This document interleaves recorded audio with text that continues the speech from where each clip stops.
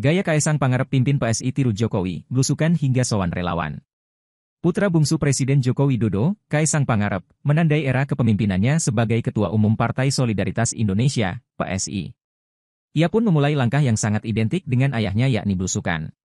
Diketahui, setelah ditetapkan sebagai Ketua Umum pada Senin, 25 September 2023, Kaisang langsung menyambangi warga, termasuk berbagai organisasi relawan pendukung Jokowi. Kaisang menyambangi Pasar Waduk Pluit, Jakarta Utara, Rabu, 27 September 2023, dan berbincang hangat dengan banyak warga di sana. Ia mengatakan, belusukan menjadi cara untuknya mencari tahu keadaan masyarakat karena yang mengakui selama ini lebih fokus berbisnis. Caranya bagaimana? Saya harus terjun langsung ke masyarakat untuk mendengar langsung dari mereka-mereka, ucap Kaisang. Ia mengaku mendapatkan banyak keluhan dari masyarakat dalam belusukan edisi pertamanya ini namun ia enggan untuk menceritakannya. Melansir dari Kompas.com, Kaisang tiba pada sore hari dan menyempatkan diri menyambangi rumah belajar tersebut.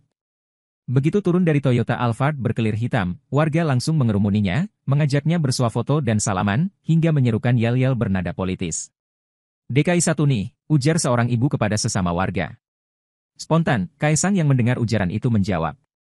Aduh, ucap pebisnis kuliner sang pisang itu sambil tersenyum simpul. Calon wali kota Depok nih, sahut warga lain.